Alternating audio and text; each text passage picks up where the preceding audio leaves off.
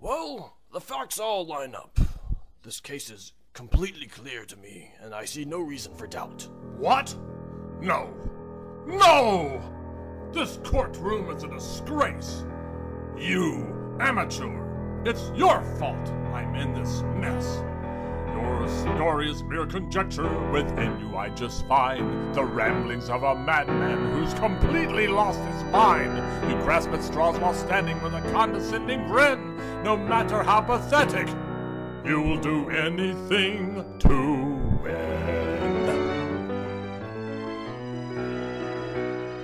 There are people here You're bluffing. You haven't got a plan.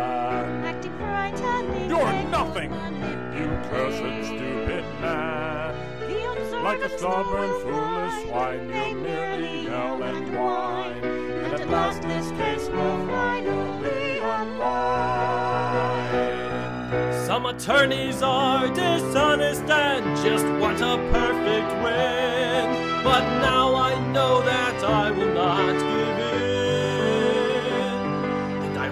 stand for lying or accusing anymore. I know precisely what I'm fighting for.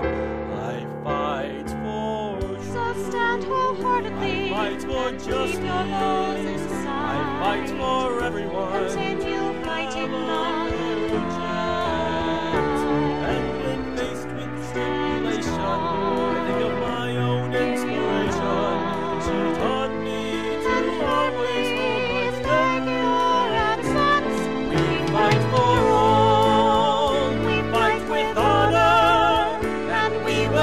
Rest. Together we unite. Forever since the world's creation, mankind has sought his liberation.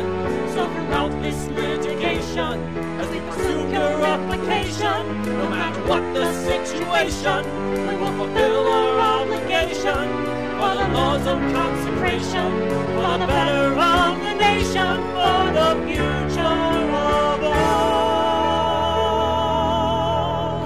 court finds the defendant, Miles Edgeworth, not guilty. We fight.